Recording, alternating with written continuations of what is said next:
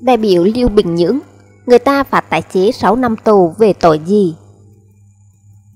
Đại biểu Lưu Bình Nhưỡng, người ta phạt tài chế container 6 năm tù về tội gì?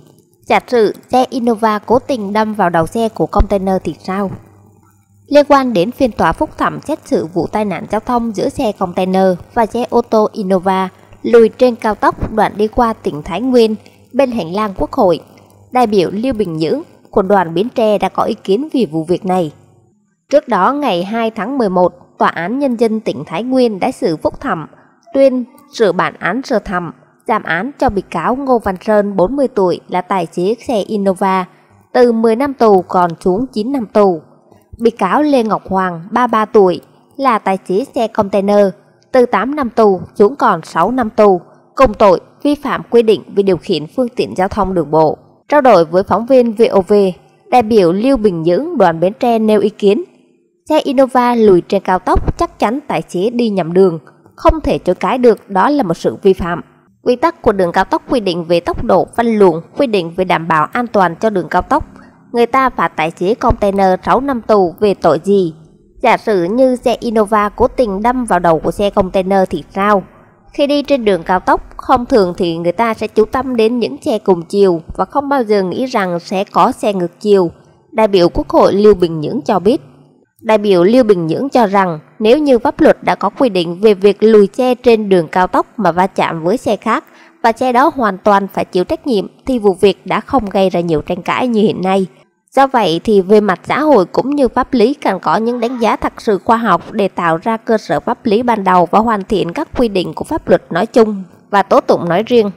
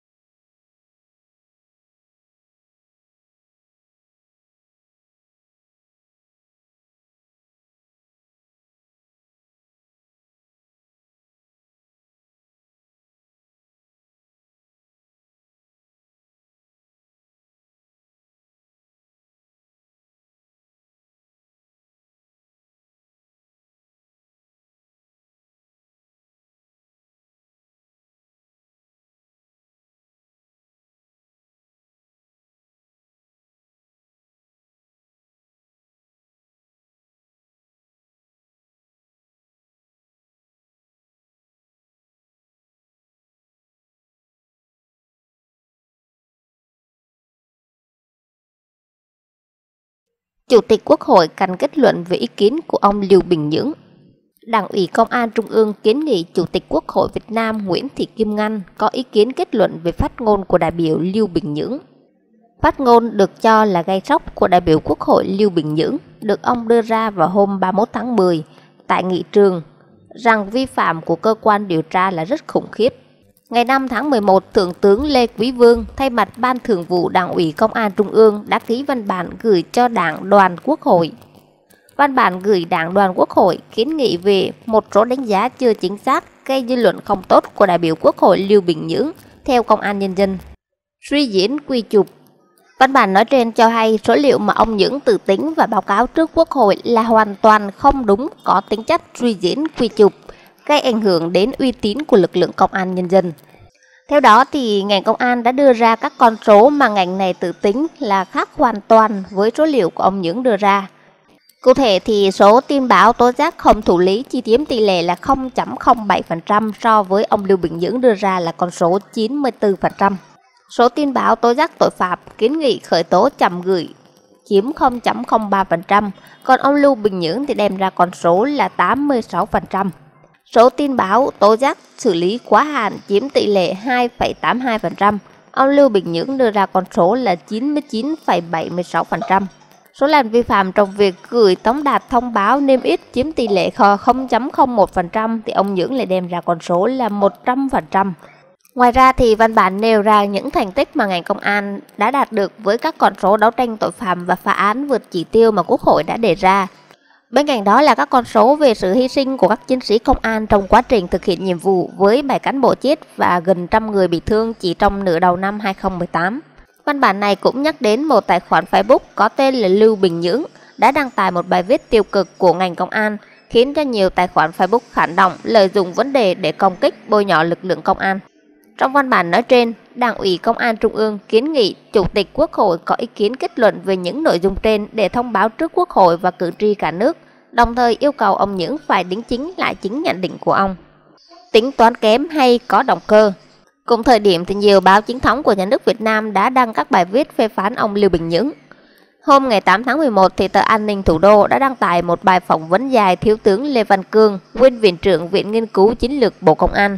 Theo đó thì ông Cương nói, ông ý kiến của ông Nhưỡng hoàn toàn không đáng tin cậy và không đúng sự thật, hoặc là do ông Nhưỡng kém tính toán hoặc là có động cơ với ngành công an. Ông Cương yêu cầu ông Nhưỡng phải xin lỗi lực lượng công an về những phát ngôn sai sự thật một bài viết của Hội Nông dân Việt Nam cho hay, người dân Bến Tre thất vọng khi bầu ông Nhưỡng vào Quốc hội. Bài báo đăng hôm ngày 6 tháng 11 viết rằng, phát ngôn khủng khiếp của ông Nhưỡng về ngành công an đã gây hoang mang tột độ trong lòng người dân. Một số cử tri được phỏng vấn trong bài báo tỏ thái độ là bàng hoàng và yêu cầu ông Nhưỡng phải đính chính thông tin. Cử tri Lê Văn Việt thuộc chợ Lách Bến Tre dẫn lời, nói thất vọng vì đã bỏ nhầm phiếu cho ông Nhưỡng. Tôi không bịa. Một ngày sau khi phát biểu gây bão nói trên thì ông Lưu Bình Nhưỡng đã nói với các phóng viên Việt Nam rằng ông không hề bị ra những con số đó. Tờ Tiền Phong cho hay, bên lề cuộc họp Quốc hội hôm ngày 6 tháng 1, ông Nhưỡng nói đánh giá của ông về tỷ lệ vi phạm pháp luật của các cơ quan trong hoạt động tư pháp được nêu trong một phụ lục báo cáo riêng – Ông Nhưỡng cũng nói các con số này đều có trong báo cáo chứ ông không tự nghĩ ra hay tự lấy số liệu này chia cho số liệu khác. Không có chuyện tôi bị ra tất cả những điều đó làm gì, ông Nhưỡng được dẫn lời cho hay. Trước đó thì một tài khoản Facebook mang tên ông đã đăng một bài viết dài chia sẻ lại việc phát ngôn của ông gây báo ở nghị trường. Trong đó thì ông Nhưỡng nói, không mong gì hơn ngoài mục đích muốn tầm sự với thế hệ 4 chấm, quan tâm tới các vấn đề của đất nước Ông Nhưỡng cũng cho hay trong chiều ngày 31 tháng 10 thì Chủ tịch Quốc hội đã cho phép ông trao đổi và ông đã báo cáo rõ nguồn tài liệu, cách tính toán cũng như cách so sánh của ông. Mạng xã hội nói gì? Luật sư Luân Lê viết trên Facebook cá nhân rằng cần phải ủng hộ những tiếng nói và sự chất vấn của ông người Lưu Bình Nhưỡng. Ông Nhưỡng với tâm thế một đại biểu chuyên trách đã làm rất tốt vai trò của một người đại diện cho cử tri là nhân dân. Ông không né tránh hay e ngại va chạm, ngay cả với một siêu bộ quyền lực nhất của Việt Nam, đó là ngành công an. Ông Nhưỡng là người có quan điểm thẳng thắn, rõ ràng và rất tâm huyết với những sự việc nóng đối với nhân dân cả nước. Ông song sáo và đặt mình vào vị trí của những người mà ông đại diện trực tiếp cho, đó là người dân của toàn xã hội. Hãy đồng hành cùng những sự chính trực và nhất là đối với những nhân tố có vị thế chính trị để mỗi chúng ta đều có thể được nghe những tiếng vang của lòng tận tụy sự nhiệt thành và tinh thần trách nhiệm của những con người lương tri trên mảnh đất đã quá cạn kiệt lòng trung thực và sự quả cảm, tình yêu đối với con người và tổ quốc này. Đừng để ông ấy đơn độc, đây là những thời khắc quan trọng để cho những giá trị tốt đẹp còn được trồi mọc lên giữa lòng sa mạc của sự hủy hoại, lụy tàn và suy biến.